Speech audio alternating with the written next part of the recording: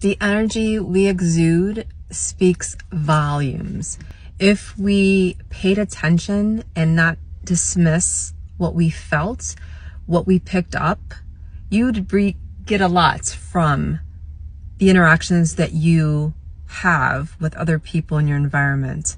So pay attention to that, especially when we have people that um, give you like a like an off off energy, off vibe, whether it is because perhaps they are no longer wanting to engage or you're just not a vibrational match.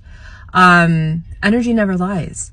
You can read people like a book. Not that we want to be walking every day in our everyday life reading people. No, that's not the case. But we do engage with our environment and there's a reason for it. We're open to a certain extent.